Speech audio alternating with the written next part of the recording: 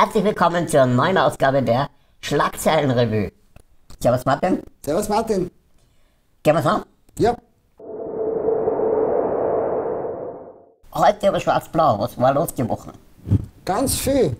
Die erste Meldung, ähm, der Kurz war bei einer Einschulung in Graz. Eigentlich ist das eine Frechheit. Ich meine, So jung ist er nicht mehr. ah, das ist er nicht. Heute, was erlaubst du? Du bist der Kanzler. Ja, Bundeskanzler, Bundeskanzler. Republik Österreich. Genau. Apropos Republik Österreich. Was hat sie da da? Der Finanzminister, der hat mich irritiert. Die sagen doch immer, keine neuen Steuern, keine neuen Steuern, keine neuen Steuern. Ja. Kaum ist er in Brüssel wieder eine europäische Digitalsteuer forcieren. Der will, dass Europa eine europäische Digitalsteuer einhebt. Ja, aber damit brechen sie keine Wahlversprechen. Wieso? Weil es ja nicht keine österreichische Steuer ist. Es ist die böse EU. Uh, ja, das habe ich nicht berücksichtigt. Übrigens, Brüssel, die Noch-Außenministerin Karin Kneißl hat dort alle überrascht. Warte mal. Noch Außenministerin? Der, Wir haben gerade gehört. Was, was ist los? Wieso?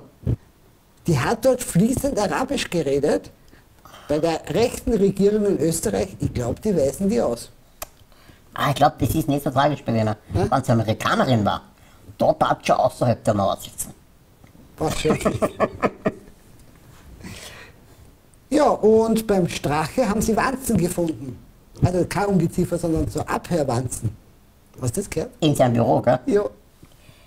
Ich frage mich wirklich, und wir haben beide diskutiert und sind nicht wirklich auf den grünen Zweig gekommen, was zur Hölle soll der Typ quatschen, was wert war für uns zum Zuhören. Habt ihr eine Idee? Schreibt es bitte in die Kommentare. Was war die Woche in heute über Trump? Wieder wunderbare Geschichten. Fangen wir gleich mal an. Amerika war die Woche ein bisschen stressig. Wir haben sozusagen auf Betriebsurlaub gestellt. Wegen dem Budgetstreit. Wegen dem Budgetstaat. Hat der Senat gesagt, wir machen nichts mehr.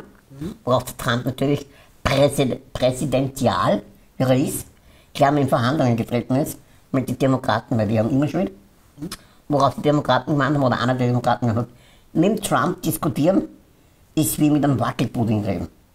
Da kann er aber eigentlich nur froh sein. Wieso? Ich glaube, normalerweise sagen die Leute ganz andere Sachen über ihn. Das stimmt.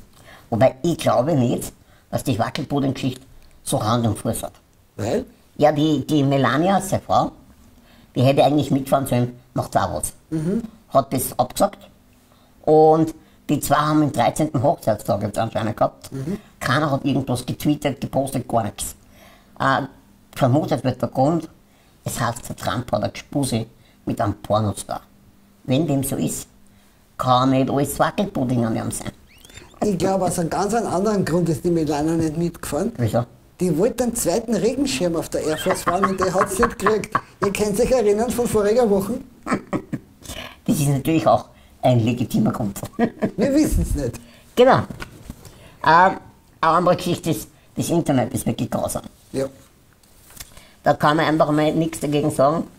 Zum Beispiel jetzt verarschen sie den Trump, weil sein Schreibtisch auf dem Foto ganz rein und nichts drauf liegt. Jetzt frage ich die echt Internet. Noch nie was vom papierlosen Büro gehört. Es ist offensichtlich und offenkundig, dass der Trump ja ein großer Befürworter des Umweltschutzes ist. Und da ist er einfach ein Vorreiter. Ich glaube, alles, was der Trump arbeitet, ist Tweeten. Stimmt, und die kann man nirgends hinlegen. Richtig. Eine andere ziemlich äh, traurige Geschichte.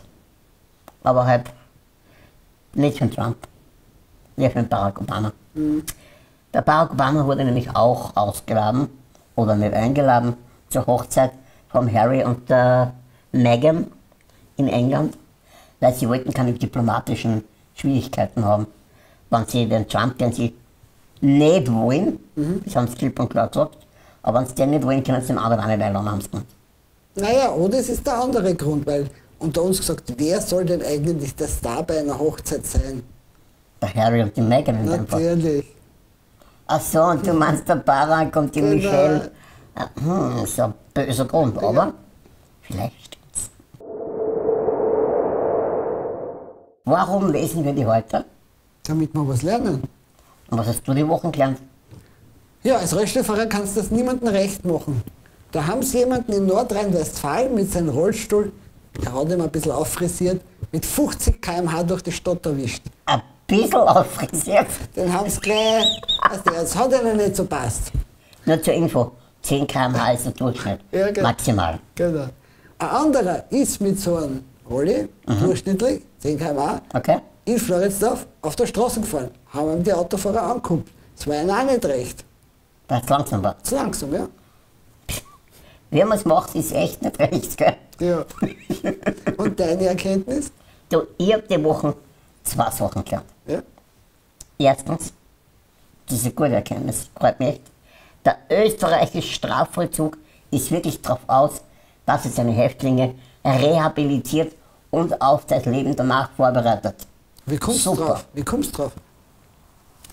Ja, ein Häftling ist von Linz nach Wien zur Verhandlung gefahren und wieder zurück, alleine, ohne, ohne, ohne Begleitung. Okay. Und hat sogar im Hotel übernachtet.